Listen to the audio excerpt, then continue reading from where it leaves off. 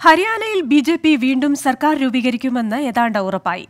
J J പിയുടെ പിന്തുണയില്ലാതെ തന്നെ ഭൂരിപക്ഷം ഉറപ്പാക്കാനുള്ള ബി ജെ പി ദേശീയ നേതൃത്വത്തിന്റെ ശ്രമം വിജയിച്ചു. പത്ത് സ്വതന്ത്ര എം എൽ എമാരിൽ ഇതിനകം ആറുപേർ ബി ജെ പിക്ക് പിന്തുണ വാഗ്ദാനം ചെയ്തു. അതേസമയം ജെ ജെ പി നിയമസഭാ കക്ഷിയോഗം ഉച്ചയ്ക്ക് ചേർന്ന് ഭാവി തീരുമാനങ്ങൾ കൈക്കൊള്ളും. മഹാരാഷ്ട്രയിൽ ഉച്ചയ്ക്ക് ശേഷം ചേരുന്ന ശിവസേന നിയമസഭാ കക്ഷിയോഗം നിലപാടും പ്രഖ്യാപിക്കും. സർക്കാർ രൂപീകരണത്തിന് ആരുമായും കൂട്ടുചേരും ഇതാണ് ഹരിയാനയിലെ ഇപ്പോഴത്തെ ബി ജെ പി നയം. എയർ ഹോസ്റ്റസിന്റെ മരണ വിഷയത്തിൽ വിവാദ നായകൻ ഗോയൽ കണ്ട ഉൾപ്പെടെയുള്ളവർ ഇതുപ്രകാരം ബി ജെ പി കൂടാരത്തിലെത്തി.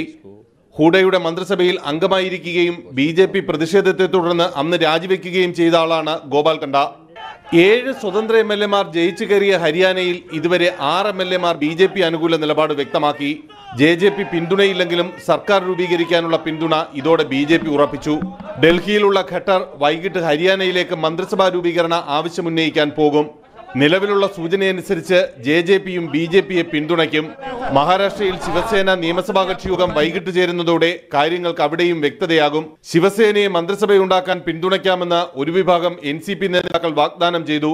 നവാബ് മാലിക്കിന്റെ നേതൃത്വത്തിലുള്ള N C P M L എമാരാണ് രംഗത്തെത്തിയത്. ഇക്കാര്യത്തിൽ പക്ഷേ ഇപ്പോഴും മൗനമാണ് ശരത് പവാറിന്റെ മറുപടി. ഉടൻ ദേവേന്ദ്ര ഫട്നാവിസ് മന്ത്രിസഭ വീണ്ടും ചുമതലയേൽക്കുമെന്ന് ബി സംസ്ഥാന ഘടകം വ്യക്തമാക്കി. R Radhakrishnan twenty Delhi